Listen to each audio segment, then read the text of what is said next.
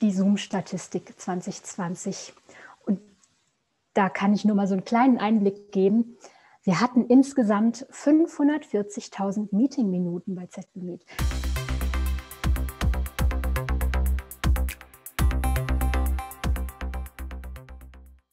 Hallo zusammen, mein Name ist Elke Rösner. Ich bin die Marketingleiterin von ZBMed und wir befinden uns hier im News-Kanal von ZBMed und normalerweise sitzt Ulrike Ostrinski an dieser Stelle. Aber wir haben heute mal verteilte Rollen und zwar aus gutem Grund, denn es geht um den neuen Jahresbericht. Aber erstmal hallo Ulrike. Hallo Elke. Ja, ich freue mich auch, dass ich heute mal in einer anderen Rolle hier bin. Die Printausgabe des Jahresberichts ist gerade erschienen, dein Werk. Zeig uns das gute Stück doch einmal.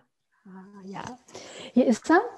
Und wie jedes Jahr bin ich sehr, sehr, sehr gespannt, bis ich äh, den ausgedruckten Jahresbericht endlich in den Händen halte. Denn natürlich steckt da ganz viel Arbeit und Herzblut und Liebe drin, bis es soweit ist.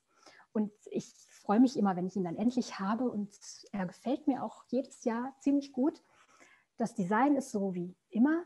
Dieses Jahr gibt es allerdings einen Unterschied, denn das Bildmaterial unterscheidet sich doch sehr denn wir haben extrem viele Menschen mit Masken abgebildet und Bilder von irgendwelchen Videokonferenzen.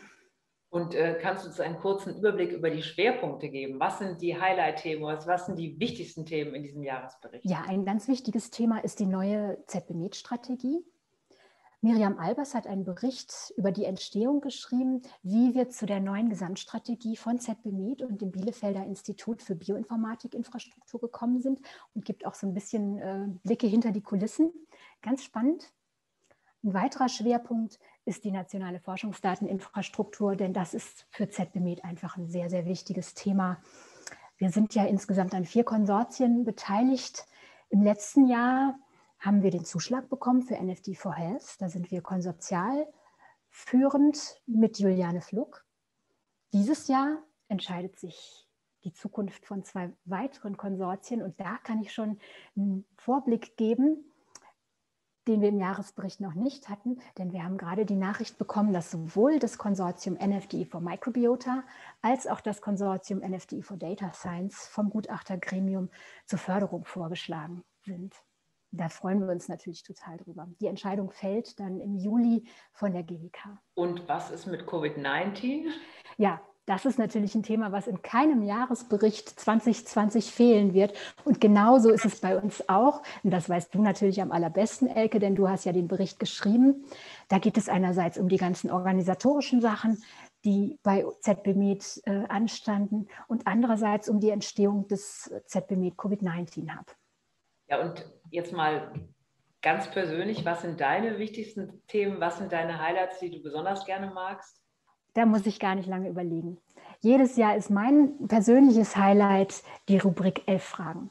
Da haben wir ja schon für den Jahresbericht 2018 einen Fragebogen entwickelt, in Anlehnung an den wahrscheinlich bekanntesten Fragebogen überhaupt von Marcel Proust, aber angepasst auf ZBMed und ist wieder wirklich sehr lesenswert. Und dann haben wir einen ganz besonderen Fun Fact eingebaut, äh, nämlich die Zoom-Statistik 2020.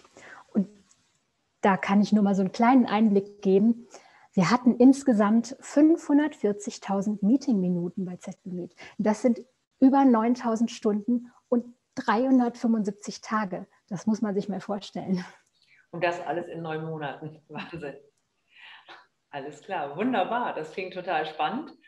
Ähm, ich kenne ihn auch. Er ist wirklich großartig geworden. Ich finde ihn sehr schön. Vielen Dank, Ulrike, für die ganze Arbeit an der Stelle. Aber vielleicht sollten wir den Zuschauenden noch verraten, wo es den Jahresbericht denn auch gibt. Ja, zum Download finden Sie den Jahresbericht natürlich auf unserer ZBMed Website. Den Link dazu gibt es in den Show Notes. Und wer gerne das gute Stück in dieser schönen ausgedruckten Version haben möchte, kann uns einfach eine E-Mail an pressestelle.zbmed.de schreiben ist auch in den Shownotes verlinkt und dann schicken wir Ihnen den Jahresbericht zu. Ja, vielen Dank. Dann sage ich einfach mal Tschüss und bis zum nächsten Mal. Tschüss, auch von meiner Seite.